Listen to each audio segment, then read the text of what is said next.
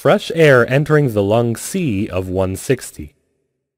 The presence of moisture in the lung results in reduction of the PO2 to 104.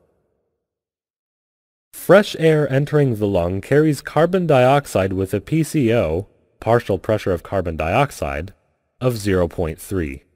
The carbon dioxide delivered to the lung from the blood raises the PCO to 40.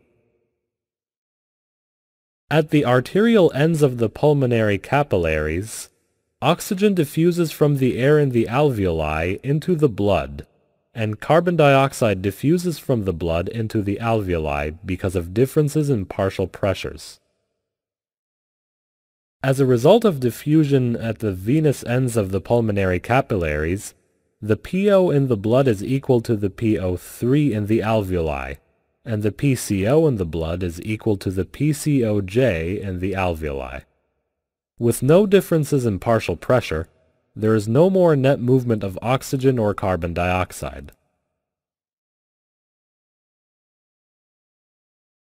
Oxygen diffuses out of the arterial ends of tissue capillaries into the tissue fluid, then into the cells, and carbon dioxide diffuses out of the cells into the tissue fluid, then into the blood, because of differences in partial pressures.